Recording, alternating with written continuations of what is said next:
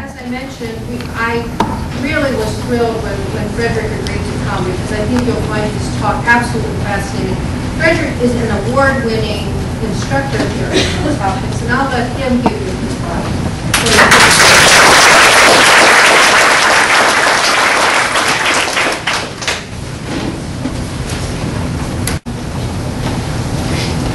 Glad to see you all here. Uh, I'm going to introduce myself. I'm going to use some of the content from this morning to do this.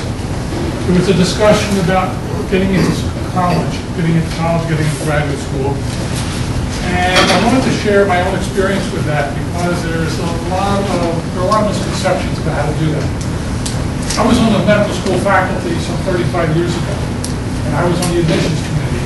And one day we had somebody come in and an application, and the head of the committee read the letter saying, "This is the best student I ever had. He's wonderful, he's smart, he's tremendous." And the person looked up and said, "Who is this person who wrote this letter? This could be the first time she ever taught."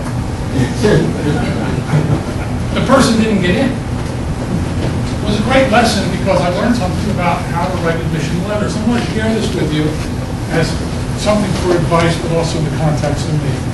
First of all, when someone writes a letter of recommendation, first thing I'm going to ask them is, will it be a good one? There are many times people will say, yes, I will, and they'll write, this is a dumb student.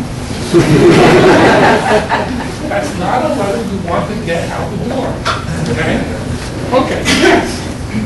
When I write a letter of recommendation, 80% of it is about me.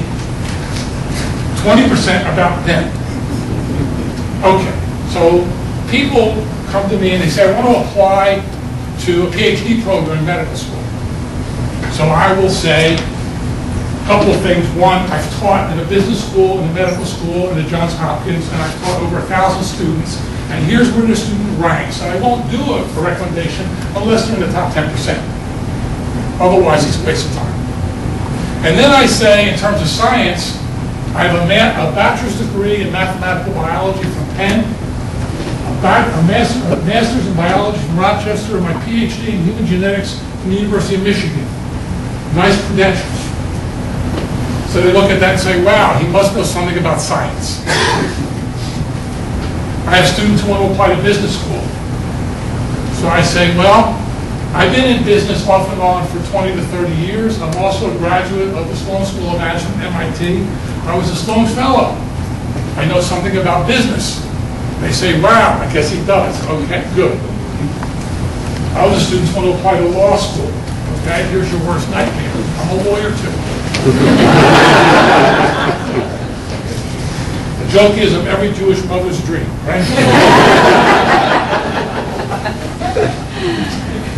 You don't have an making- MD, Fredric. What? You don't have the MD, though. It doesn't just... No, wait, the PhD counts, not. The point is that when you're having these letters of recommendation put together, you want to let the person writing it clue them in that these are important things. Many times, they will actually be grateful for this advice. Sometimes they won't, that's another comment. So, anyway, okay, so we're going to talk about how biotech relates to now and the future. And the first part of my talk is going to be stuff that you're pretty much familiar with, just to give you a grounding some really interesting, fun things are happening. Okay, so I'm going to talk about what's being called personalized medicine, where DNA is a blueprint for understanding who we are. But I'm going to move to the impact of DNA and genetics on normal function as opposed to disease. Because to me, the paradigm shift that's going to happen is that understanding how genetics defines everyday life is going to be more important than understanding disease. I'm not saying don't look at disease, but we live in the here and now. We don't live 20 years in the future. And I'm going to talk about what we call nature versus nurture, and I'm going to give you some conclusions. Why the iceberg? This, by the way, is supposedly a picture of the largest iceberg in the world. Supposedly, when it melts, if it were melted, it would fill Lake Michigan. That's a lot of ice. Only 10% of an iceberg is above the water. This is where biotech is today. You heard the talk this morning. this is going to be the century of biology because 90% is left to discover. Now, this 10% is a lot. It's still a lot. So we don't want to, we don't want to sit around and say what we don't know. We want to live with what we do know because knowledge becomes incremental. Okay, so I want to take a little trip, my view of how personalized medicine existed. In the 19th century, everything was personal. We didn't know anything. So doctors did what they could, and they guessed, and they hoped, and it just, you know, did what they could. In fact, I remember somewhere the world's fastest amputation took place in the Civil War. They cut someone's leg off in 16 seconds. The surgeon also cut his hand off. There's a moral to it. Okay. 20th century, with the particularly development of penicillin, the breakthrough, we moved to what's called scientific medicine, in which one size fits all. The problem is, it really doesn't work all the time. You go to a physician, they say, let's try this, and tell me what happens. There are articles appearing that most of the major drugs only work half the time, or in half the people take the drugs to work that out. In other words, there's a lot of failures. So, 21st century, where we're going, where we are, it's about insight, it's about you. The key is, if we know who you are genetically, biologically, we can adjust what happens to you, not just from therapeutics or medicine, but also in your daily life. We have the opportunity to take control of things we never dreamt we could. So now I want to talk about some of the things we know about. Cancer. We all know about the BRCA1, BRCA2 gene predicting cancer risk in women.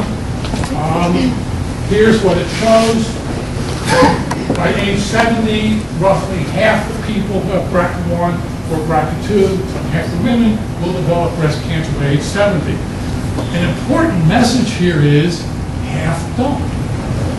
Okay? Critical message to understand about what's going on. Genetics is not deterministic. Genetics is not something that once you have a gene, your future is totally fated and known. There's a lot of movement there. My ex-wife does research in Huntington's disease, which is a dominant gene. That's very bad. Identical twins, same genes, with the same gene, can have the onset appear eight years different. Well, how do you explain that? Well, the genes are the same. It's obviously the environment that changed. So this is an important message to understand. We don't lose control of things. Is a recent study that came out showing how we can predict differential risk in cancer from smoking. Now, they're looking at 20 different genes. I put this slide here because this is another valuable message to understand where we're going. No gene works by itself. We work in combinations of things. So the days of looking at single things are going to be gone. We're a very complicated system. So what this says is that looking at the 20 genes and making a risk score, the population who have lung cancer are shifted to the right enough that you can begin to predict who would get cancer from smoking. Now, obviously, it's not 100% accurate, okay? And I want to kind of give you a metaphor because I get some people saying, well, what good is it if it's not 100% accurate? When you get up in the morning, when you got up this morning, how many of you turned on television to find out whether it's going to rain or not? Right, I did. We all look at the weather. Now, if you take your umbrella out of the house and it doesn't rain, do you get angry? right? We're used to living in